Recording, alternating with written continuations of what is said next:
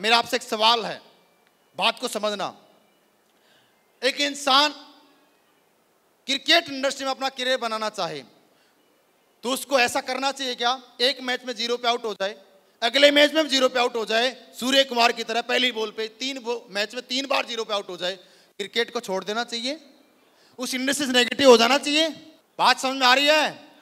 तीन मैच में एक इंसान तीन बॉल पे लगातार ज़ीरो पे आउट होने के बावजूद भी उस इंडस्ट्री के प्रति पॉजिटिव है, क्योंकि मुझे पता है, यही मेरा करियर यही मेरी ज़िंदगी और यहीं से मुझे अचीवमेंट मिलेगा, यहीं से मुझे सक्सेस मिलेगी। तब जाके दोस्त, ज़िंदगी बदलती है। यहाँ पे लोगों की प्रॉब्लम है, आज एडब्ल्यूपीएल को कर लेते हैं, थोड़ा बहुत पैसा नहीं आया, नौकरी कर लेता हूँ, खेती कर लेता हूँ, घर के काम संभाल लेता हूँ, पापा जी की दुकान संभाल लेता हूँ, और कुछ लोग यहाँ पे ऐसे महान पुरुष हैं, कोई दूसरी कंपनी में जंप मार जाते हैं। वही स्लीपेज से बढ़िया प्लान है कंपनी आई है। वो ज़िंदगी भर कंपनियाँ बदलता रहता है कंपनियाँ बदलता रहता है। कभी दोस्त अपना अचीवमेंट नहीं बदल पाता दोस्त ये सच्चाई है।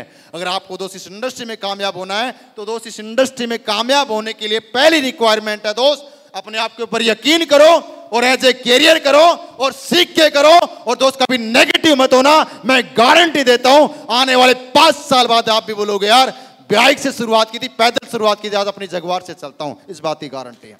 दोस्त, एक ही बात बोलना चाहूँगा, अगर दोस्त आपकी ज़िंदगी में रियल में अगर पैसे नाम की समस्या है तो दोस्त अपने आप से सवाल करना, कौन सा ऐसा मेरे पास प्लेटफॉर्म है, जहाँ से मेरी ज़िंदगी बदल सकती है, जहाँ से मेरे सपने पूरे हो सकते हैं? क्योंकि दोस्त, एक इंसान पैसे का मैनेजमेंट भी कर लेता है। कैसे बताऊँ? आपको याद दिलाता हूँ। आपने देखा होगा, जब हमारे घर में कोई इमरजेंसी प्रॉब्लम आती है ना तो डॉक्टर बोलता है, पाँच लाख रुपए लगेंगे। तो वैसा पैसे नहीं होते, पाँच लाख रुपए ब्याज पे भी लेने पड़ते हैं। हाँ या ना?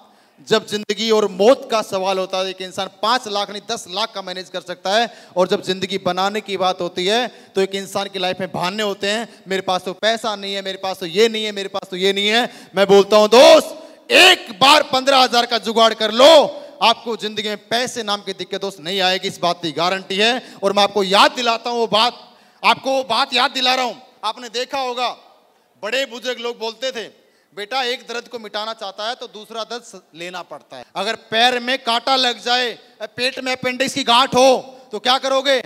उस गांठ का दर्द सह सकते हो आप लोग? निकालना पड़ता है ऐसा वो दर्द सहन नहीं कर पाता इंसान। ऑपरेशन करवाना पड़ता है, लेकिन जब आप ऑपरेशन करवाते, प्रॉब्लम और ज़्यादा बढ़ती है, पेन ज़्यादा होता है, दर्द ज़्यादा होता है। लेकिन जैसे वो गांठ बाहर निकल जाती है तो ज़िंदगी में आपकी शरीर में जो प्रॉब्लम थी पेन की, वो खत्म हो जाती है। सेम हमारी लाइफ है। हम छोटी छोटी खुशियों के लिए अपने परिवार से, अपने बच्चों से, अपने वाइफ से बोलते हैं, दिवाली पे कुछ आने दे बोनस होली पे कुछ बोनस आने दे। ऐसे बोलते हैं, नहीं बोलते। या तो भाई साहब, ज़िंदगी भर छोटी छोटी खुशियों को मारते रहे, या एक बार ए डब्ल्यू का कांटा चुबोल लें, मैं गारंटी देता हूँ भाई साहब, आने वाले चार से पाँच साल बाद बोलोगे ज़िंदगी हो तो साला ऐसी हो।